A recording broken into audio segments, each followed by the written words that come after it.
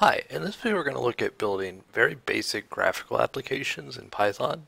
So, so far what all we've done is make command line interface applications. So these are applications that just print out plain text to the Python shell or um, some other command line interface. And that's in stark contrast to what we're used to nowadays um, working with on computers where we have nice graphical interfaces where you can click on things and um, things like that, and it's not so boring as just plain text. So the way we're going to do this is by using something called tkinter or tkinter, and this is something that comes packaged with most Python installations, and it's kind of the most common way to make graphical user interfaces or GUIs in Python. Um, and so to import this library, we're going to say from tkinter import star. And as you know, we could do like import tkinter. It's the same thing, but we're going to have to do extra typing every time we want to use a function from this module. So we're just going to ignore that. So T, this is this stands for TK interface. Um, TK is sort of a toolkit for building graphical applications. It's written in a language called C, and this is just like a wrapper interface that that exposes some of that to Python, so we can use it to build these graphical applications pretty easily. Um, now, there's so many. There are other modules that are available, other libraries that are available to make graphical applications. There's tons of them, and even within um, the tkinter module, there's so much to it, and we could spend an enormous amount of time covering all the different things you can do with this and all the flexibility. So I'm just going to barely scratch the surface with some very basic, simple programs. Um, and then later on, if you want, you can definitely dive into this and go as deep as you want and learn all about all the different things you can do with it. But we're just going to scratch the surface just so you can say you can write a simple graphical program and everything you do isn't just uh, boring old lines of text, right?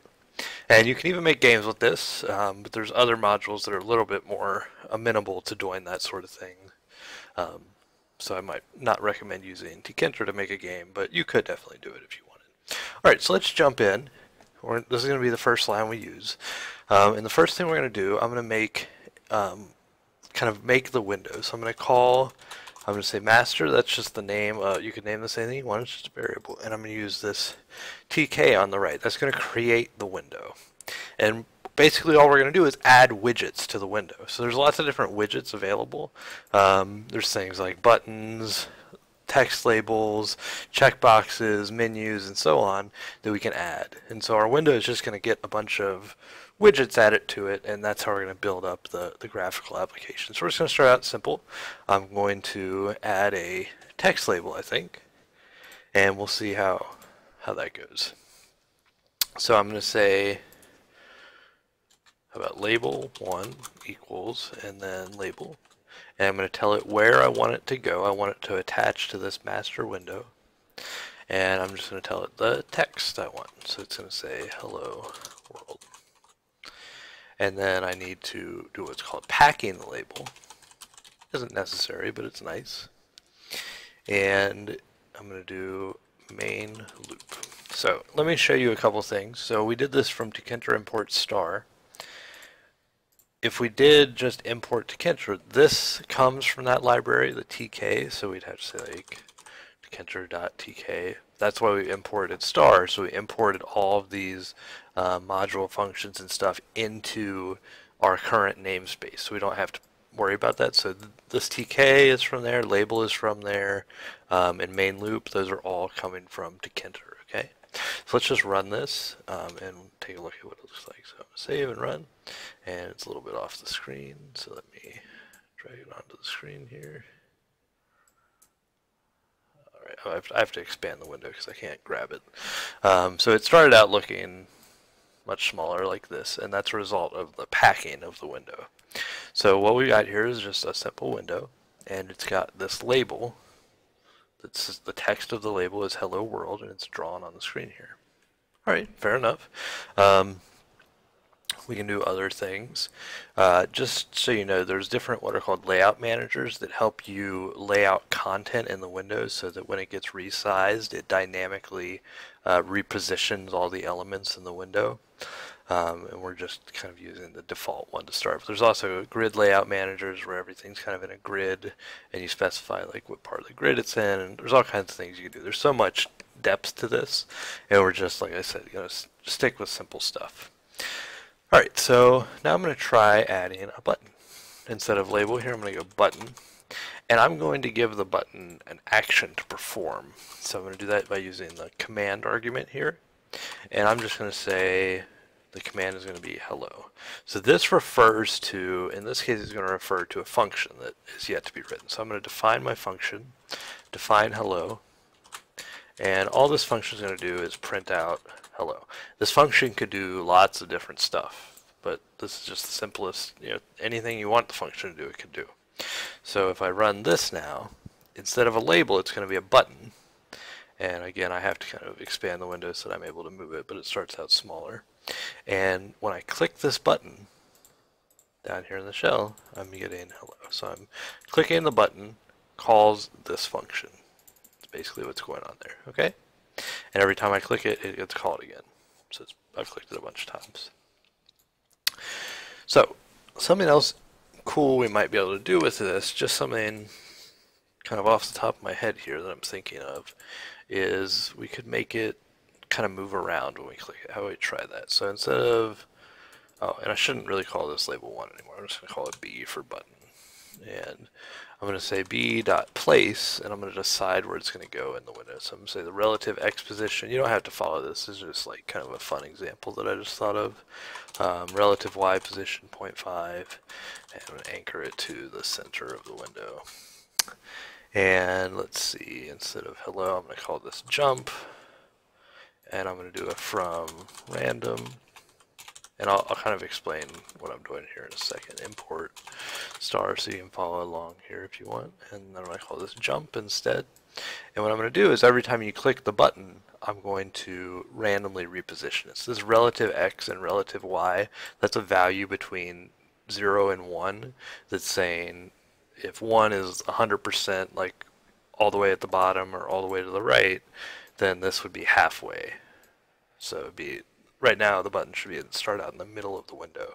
What I'm going to do is randomly um, place it. So I'm going to say b.place, and then I'm going to go relative x is going to be random because I imported everything from random and this returns a floating point value between 0 and 1 and relative y is also going to be random. And let's try that out. So I'll run it. Let's see. So my idea here, if this works, is when I click this, it should jump around the window, and indeed it does. Um, so that's kind of, you can maybe think about making a game out of that somehow. Kind of neat little thing, um, not much code, right? Alright, so that's fun. Now let's look at another example. Let me see if I can pull it up here. One second. I'm just going to copy some code and bring it over. Yeah, I'm going to bring it over to the window over here.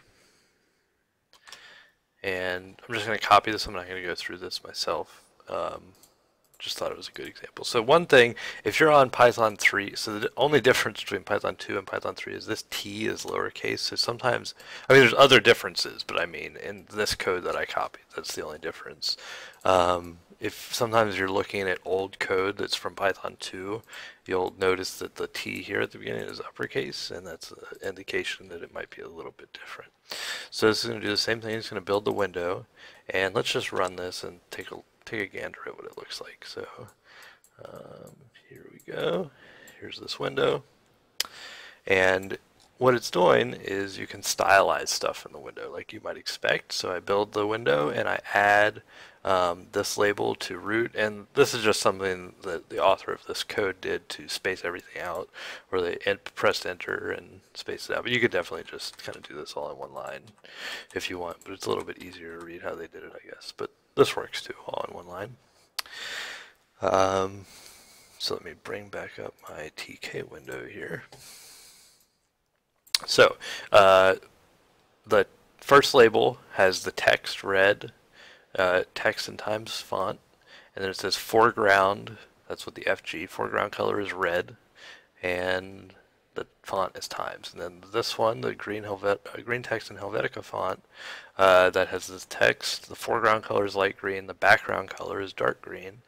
And then here's the the font arguments: Helvetica, size 16, bold, and italic, and we see all that there. And then those get packed up, and we do the main loop to um, instantiate action, list action listeners and things for the, for the window. All right, so that's just another example um, of stylized text. So not too intimidating once you break it down. We're really just creating labels there, and um, in this case it was a little bit kind of weirdly spaced out, but simple enough, right? Alright, so now let's look at a canvas, and this is kind of the last example I'm going to go over here. Um, but I mean, I could spend forever talking about this stuff, so um, let's not worry too much about that. So I'm going to keep everything in here. And I can just make that main loop actually. And then inside of here, I'm going to go ahead and create what's called a canvas. And I'm just going to call it C. I'm going to say C equals canvas, and then it's going to be attached to the root. And the width of the canvas, this is measured in pixels. So I don't, most monitors are called, uh, nowadays anyway, a lot of them, maybe not most, um, are 1080p monitors, and that's 19, 1920 pixels wide and 1080 pixels tall. So 1920 by 1080 is that resolution of the screen. So we're specifying a number of pixels here. Um, don't worry too much about that if you're not familiar with that stuff, but um, definitely something to look into if you want to do more with this. So I'm going to just gonna call a width. I'm going to say the width of my canvas is going to be 80, for instance, and the height is going to be, uh, let's go with 40. Okay, and I'm going to do c.pack. And what a canvas is, is a widget that you can draw on. As its name might suggest, canvas, you know, as an artist, you draw on a canvas.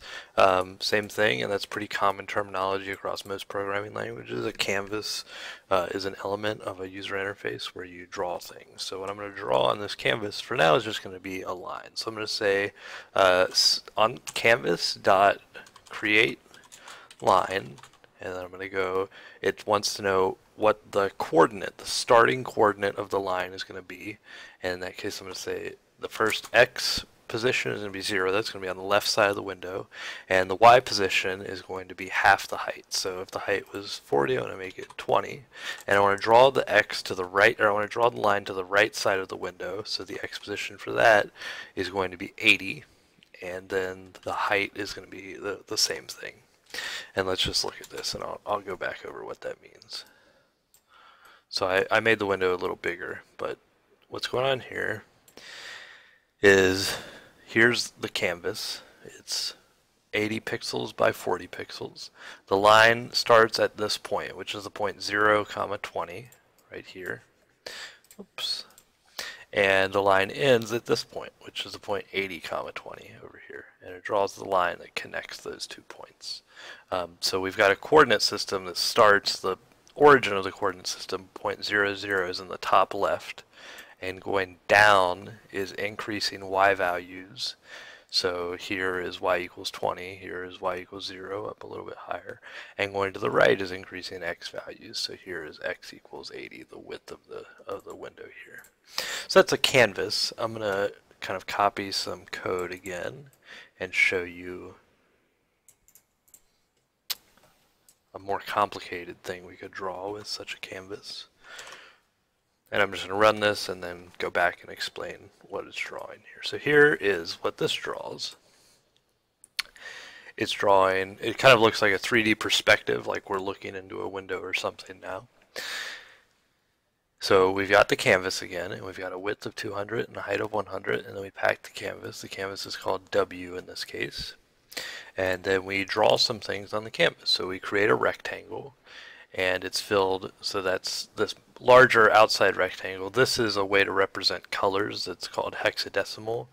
Um, so we don't have to get too much into it. These two numbers represent like how red the color is. These two represent how blue it is, and these two represent how green it is. Um, or sorry, this is blue, and this is green. But that, that that's neither here nor there. That doesn't matter. Um, that's just a way to represent colors. You can also just type a color like green or um, yellow. It doesn't support every color. Like it might not know what periwinkle means or something, but common colors it can support.